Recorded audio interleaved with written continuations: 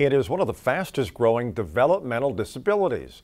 Autism affects one in every 150 children, but a new kind of therapy is helping many kids cope.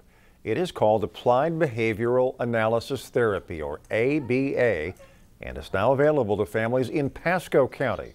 Parents packed a seminar at Behavioral Consulting in Wesley Chapel applied behavior analysis um, is the only proven method for treating autism. There's about 30 years of, of research to show that it's effective.